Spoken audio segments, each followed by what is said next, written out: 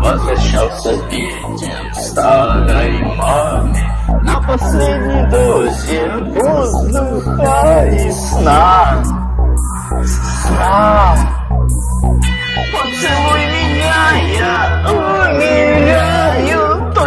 очень осторожно, мама Не смотри в глаза, мертвые глаза.